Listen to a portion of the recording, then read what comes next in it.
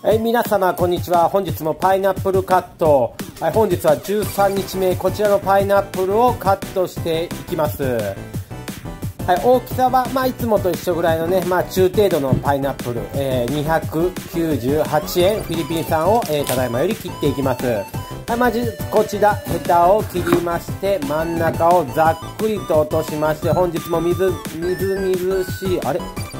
ちょっと今日のパイナップル、なんかちょっと腐ってってるかなこれは、まあ、ちょっと後で見ていきましょうねこれは。はいそしていつも通りにあの四つ切りにしまして。あそしてね次は8等分にしていきます。はいちょっとね腐ってる部分がちょっと目立ちますけどもね、まあ、パイナップルはやっぱりあの皮の付近になるとねどうしてもこう黒ずんだところっていうのが出てきますんでね、まあ、ちょっと変色してねえー、ちょっとなんか色がついてうんって思うパイナップルもあるかもしれませんけどもまあまああのー、これ一応この黒ずんでるパイナップルねあのー、切った後食べたんですよ。まあまあどんな味がするかなってなんかいつもと味違うのかなって思って一応食べたんですけどもまあいつもと全然味一緒でしたね。あの皮の部分のあの黒いとこあるじゃないですか。ああんな感じの食感でしたね。パイナップルあの黒い部分腐ってるのかなと思ったけど、まあ、特に腐ってるわけじゃなくてねまあなんかこのなんか来たんでしょうねあの黒い部分が真ん中の方まで。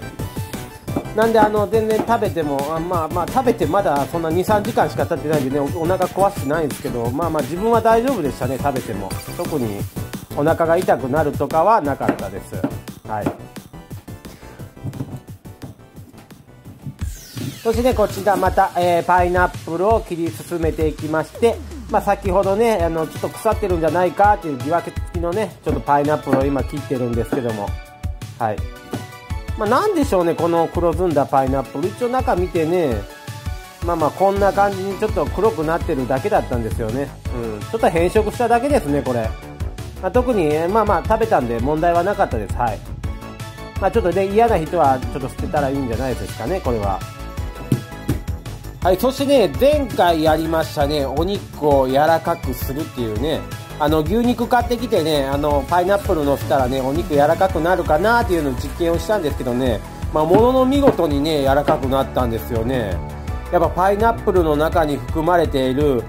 ブロメラインっていうね、成分、タンパク質分解酵素っていうのがね、まあ働いたんでしょうね。しかもね、こちらね、お肉柔らかくするだけじゃなくてね、腸内のね、あの腐敗物をね分解する作用などもあるんですよ。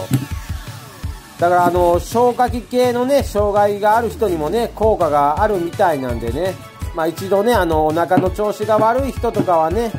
あのパイナップルねちょっと毎日食べ続けたらちょっと効果があるかもしれませんね。ちなみに自分はあの13日間毎日パイナップルアホみたいに食べてるけど特に変化も見られないですね、まあ、特にあの消化器系が悪いわけじゃないんでね。まあまあ至って健康な状態を毎日続けるために食べてるような感じですね。はい。はいそれでは切り終わりました。パイナップルがこちらになっております。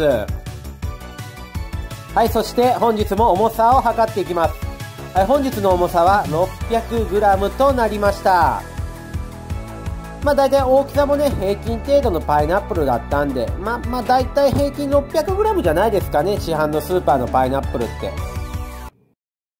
はい、そして本日のパイナップルの食べ方なんですけども、